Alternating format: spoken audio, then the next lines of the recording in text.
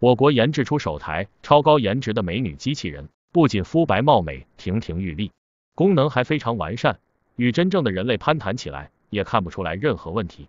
最重要的是它绝对听话，你想不想带一个回家？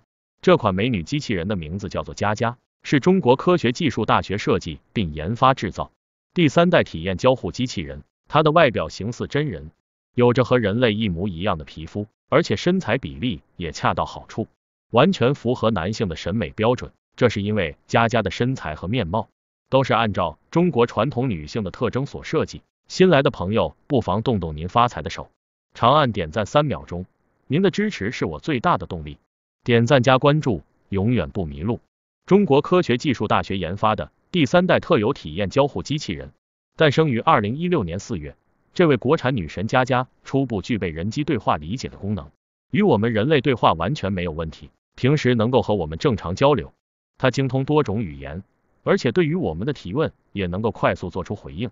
再加上面部微表情、口型及躯体动作匹配的功能，现如今，随着科技的不断发展，一些高科技产品逐渐走进了我们的家庭当中，比如智能扫地机器人、智能洗碗机、智能门锁等等。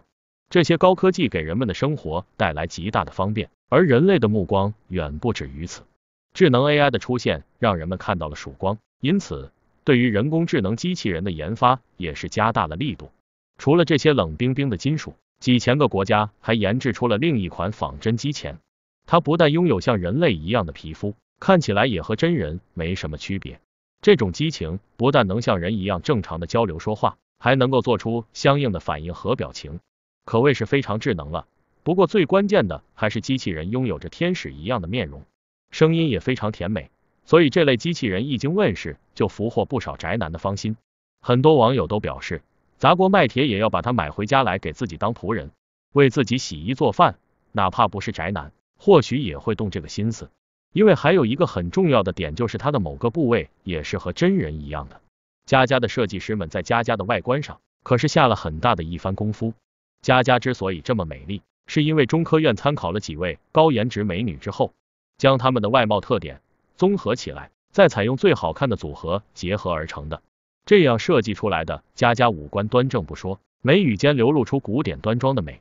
佳佳的站姿也是经过精心新设计，她拥有天使般的面孔，魔鬼般的身材，另外还具备了初级人机对话理解。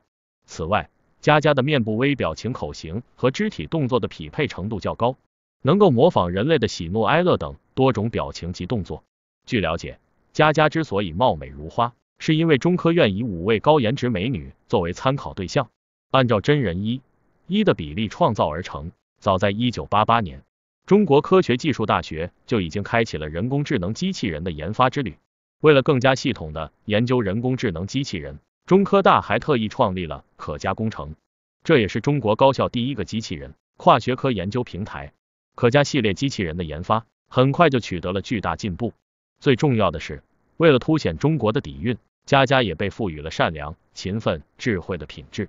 当然，佳佳的身材除了脸蛋漂亮之外，身材也是凹凸有致，有很多女性应该有的特征。虽然她只有一点六米高，但让人感到非常惊讶。如果你认为佳佳只是一个看表面价值的机器人，那就大错特错了。因为佳佳除了拥有高超的颜值和精致的身材之外，还有一个智商很高的大脑。佳佳的大脑其实是一个巨大的在线数据库，与云计算平台相连，让佳佳可以依靠这个数据库来回答我们提出的问题，通过自然语言理解和语义转换提取有关知识，利用这些知识规划自己的行为，流畅的操纵微波炉加热食物。并且取出已经加热的食物，并送给现场的观众。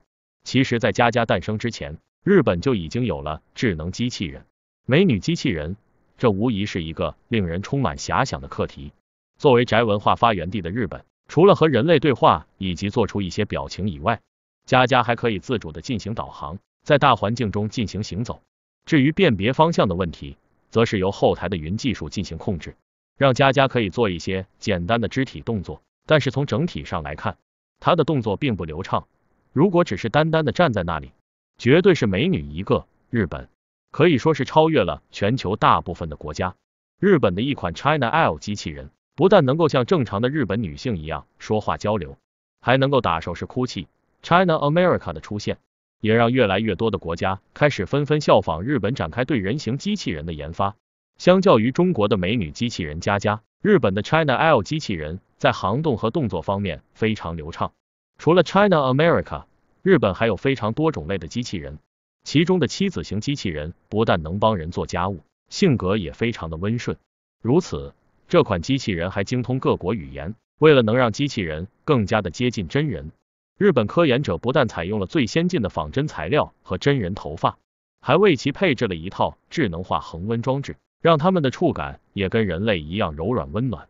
其实，佳佳的设计灵感来源于我们中国的传说故事——田螺姑娘。大家都听过田螺姑娘的故事吧？传说中有人捡到了一个田螺，将它带回家精心呵护。后来，田螺变成了一个仙女，为了报答恩情，将此人的家中打理的井井有条。有多少人在听完这个故事之后，想要拥有一个这样的田螺姑娘呢？相较于中国的佳佳，日本的出入口。在动作和语言方面更加的流畅，没有明显的停顿情况。日本的这款机器人之所以动作流畅，是因为日本科研人员在它身上配置了四十三个活动装置。在这一方面，我们要承认我们的不足，并且积极向日本学习。不过在外貌方面，中国的佳佳比日本的出入口更加的漂亮。作为一款人工智能机器人，它不同于中科院研制的每一个家庭，在于它依靠自身的智能和智慧。吸引了人们的目光。由于其内部程序设计采用卷积神经系统和谷歌浏览器，索菲亚在与人类交流时可以回答所有问题。每当中国情人节的情人节到来，可能还是来自单身狗。当你看到满大街都是狗粮的时候，你也会希望有人能送你一份精心准备的礼物，与你分享半价第二杯的快乐。随着人工智能的发展和机器人的日益普及，这个梦想逐渐成为现实。除了日本，欧美国家也研制出了不少人形机器人。不过，在众多人工智能机器人中，索菲亚堪称当红明星，因为它是历史上首个获得公民身份的机器人。其次就是它那智慧的大脑，甚至在某些方面还会超越人类。这是因为索菲亚的大脑是由卷神经网络和谷歌智能系统共同组成的，它的所有反应都是依靠人类输入的程序以及大脑中的计算机算法做出的。让机器人产生意识的基础，需要把人类大脑研究彻底。我们的大脑无疑是世界上最精密、最复杂的存在，其中大脑神经元是产生意识的关键。研究清楚神经元是如何产生人类意识的。到目前为止，索菲亚已经学会了六十二种面部表情了，这让索菲亚越来越受到重视，因为还登上了综艺节目。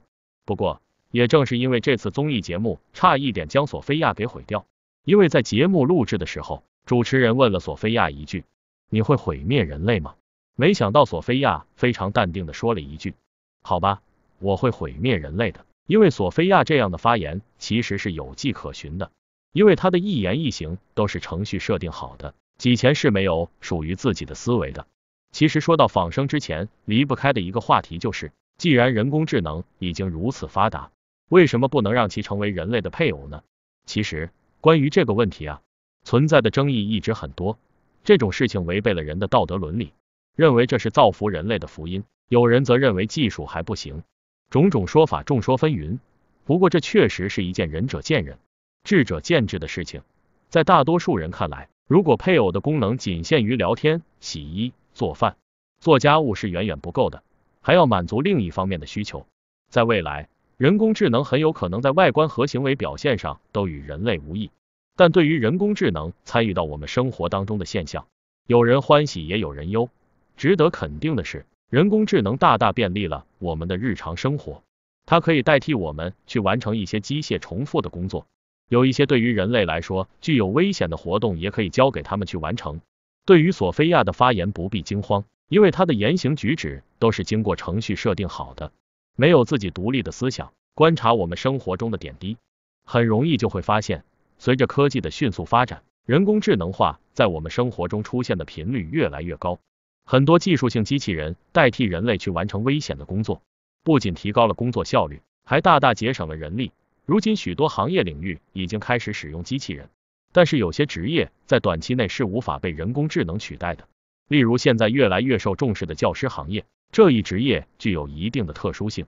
教师面对的群体是学生。他们不仅需要传授学生知识，更重要的还要教孩子们为人处事。学生的许多行为习惯都离不开老师的规范与指导。现在很多人说，如果我们不努力，将来连机器人找工作都比我们强。这不是笑话，但是凡事必有利弊。虽然机器人会给我们的生活带来很多好的影响，但是如果人们过于依赖机器人，就会导致人们的创造力、灵活性和主动性下降。